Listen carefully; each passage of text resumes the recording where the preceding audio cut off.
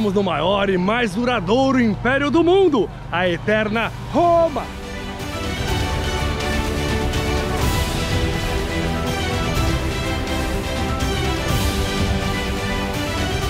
Os romanos foram a última civilização da história antiga.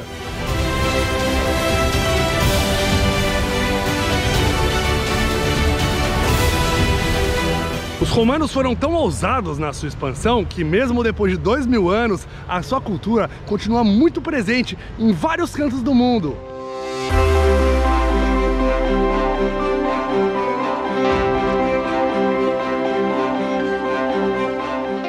Roma tem 2,8 milhões de habitantes. Se considerar toda a província, já sobe para 4,8 milhões de habitantes. 4,5. É um negócio assim, é tipo muita gente.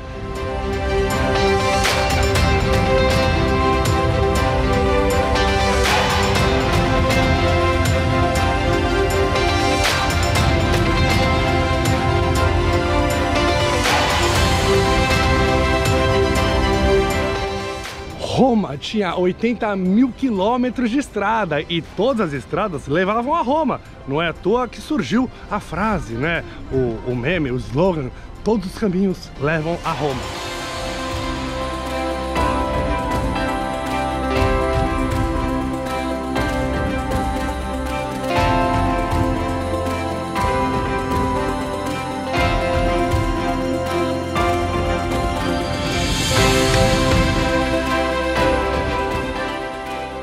Aqui o maior anfiteatro já construído em todo o planeta. Você sabe de que eu tô falando, né?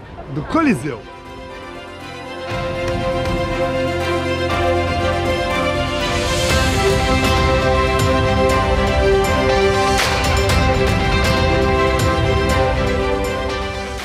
Mas e esses buracos na fachada do Coliseu?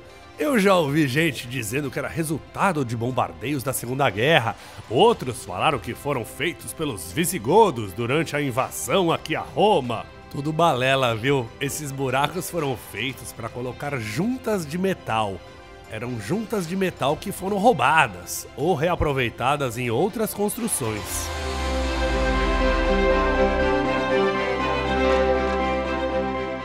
Os arquitetos calcularam que se o Coliseu fosse construído hoje em dia, ele custaria 380 milhões de dólares.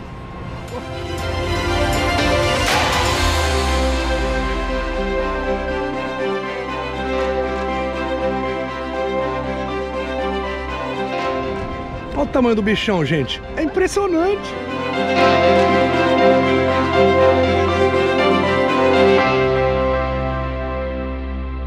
E mesmo com as nossas tecnologias, daria um trabalho para fazer isso aqui.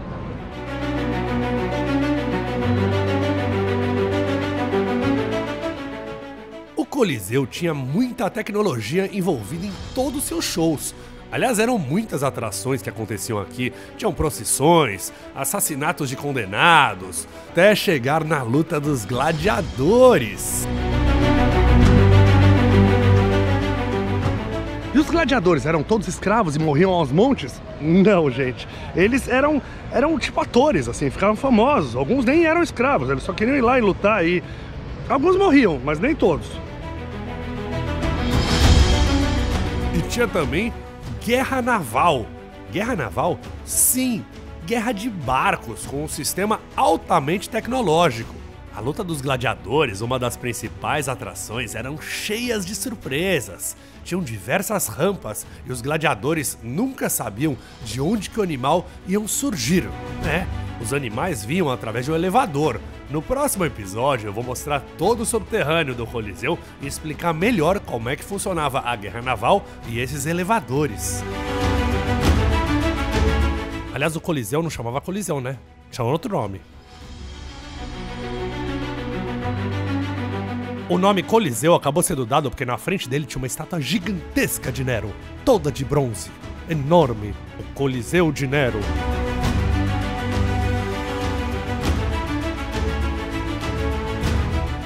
E aqui a estátua colossal de Nero. Aqui não tão colossal.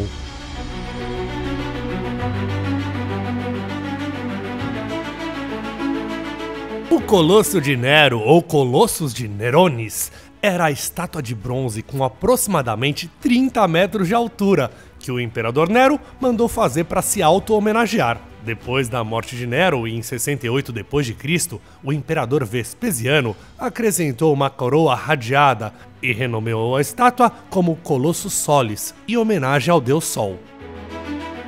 Depois ela sumiu. Eles acham que os bárbaros levaram ela. Coliseu não está completo por muitos fatores. Claro que ele enfrentou o tempo, a chuva, terremotos, mas talvez o pior inimigo tenha sido o homem. Até a Igreja Católica usou o Coliseu abandonado como pedreira, tirando pedras para construir as catedrais de São Pedro, de São João e o Palazzo Venezia.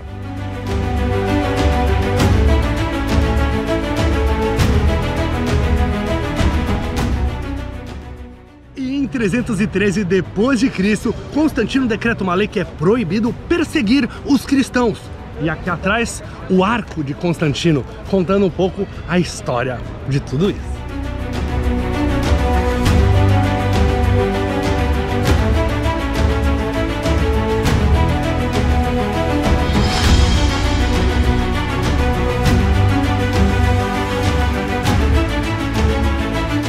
O arco conta a história dos romanos em detalhes. Olha o que é lindo isso aqui.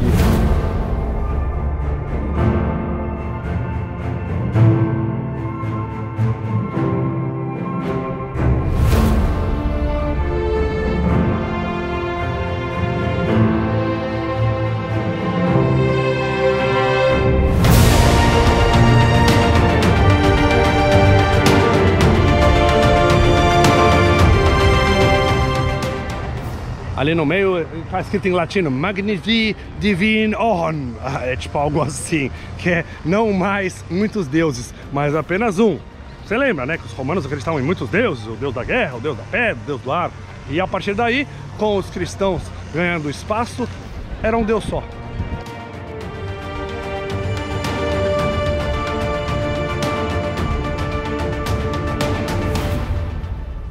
E os deuses romanos? Bom, eles eram muitos, todos ligados à natureza, né? Era o deus dos mares, das tempestades, o deus da guerra, né? Uns dizem que inclusive os romanos copiaram tudo dos gregos, porque era muito parecido, só trocava o nome. Mas outros historiadores dizem que não, que era original, que foi apenas uma coincidência.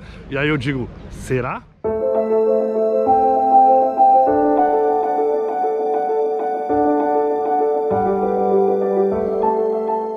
Acho muito bonita essa mitologia romana e grega, que são muito parecidas. Um dia eu faço um programa sobre isso, se vocês quiserem.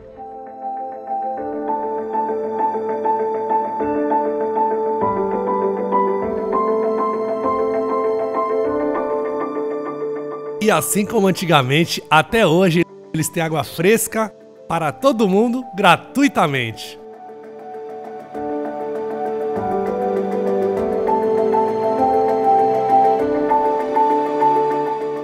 Além das atrações serem gratuitas aqui no Coliseu, eles também davam lanche pra galera, tinha prêmio, dinheiro, até título de apartamentos eram jogados para a multidão. É, além de show, tinha comida e bebida de graça. Poxa, eu queria estar tá aí.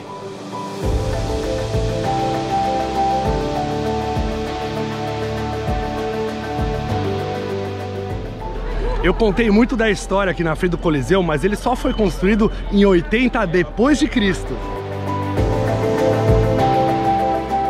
A sua construção começou em 72 depois de Cristo, sob o governo de Vespasiano, mas ele não chegou a ver pronto. Demorou para acabar, então ele morreu.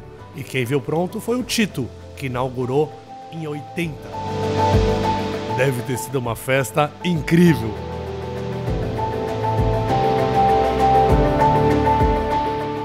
Mas o show por aqui não podia parar. Então, se acontecesse alguma dificuldade técnica, se o show fosse interrompido, eles tinham que improvisar.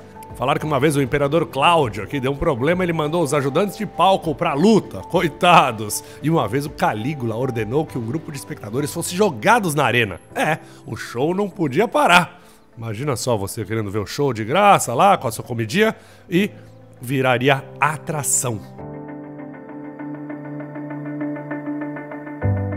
Coliseu nada mais foi do que parte da política do pão e circo.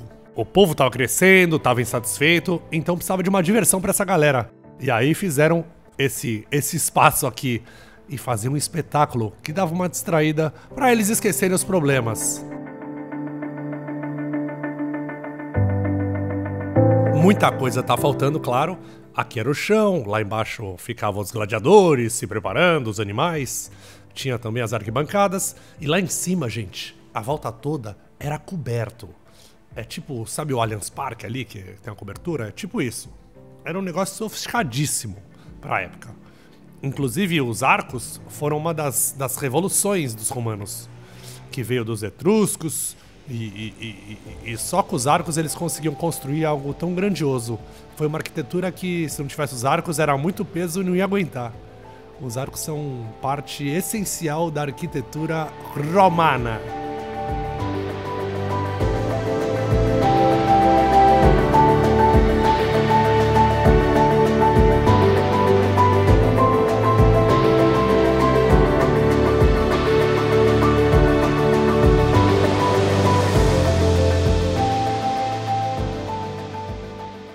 Os espetáculos aqui no Coliseu é, duravam dias e até meses. O período mais curto foi 15 dias. Aqui era assim: se a gente vai fazer festa, não vai fazer pouca festa, não. Vai fazer muita festa.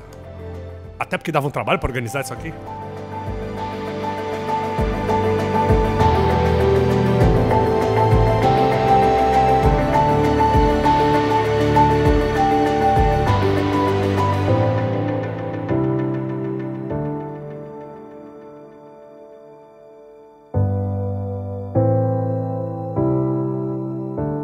Gente, a luta acontecia aqui. Aqui, ó, a gente tem as poltronas dos senadores. Os senadores tinham aqui uma visão super privilegiada, em cima dele os guardas para proteger, depois vinha a classe média e depois nós, os pobres, os plebes, mas que curtiam essa festa.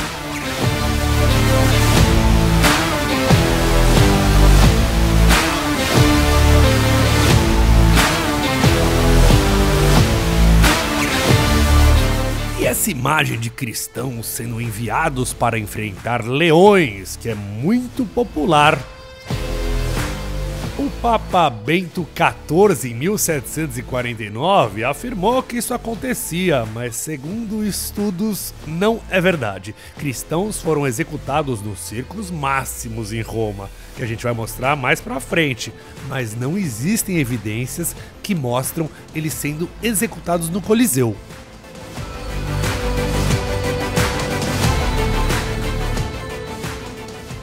Dá pra sentir, hein, gente? Dá pra sentir energia que tem esse lugar aqui. Muito sangue derramado.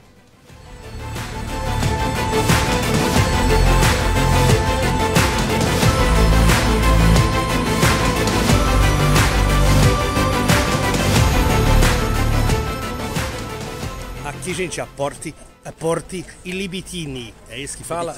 Ilibitina, a porta da morte. Morreu ou você vai passar por aqui com Eu não quero por aqui, né?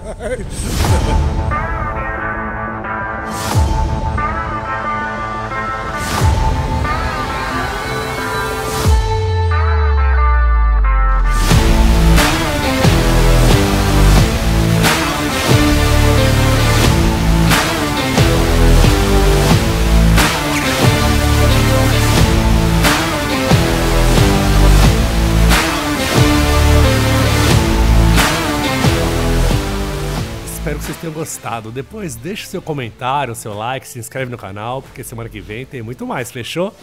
Aquele abraço.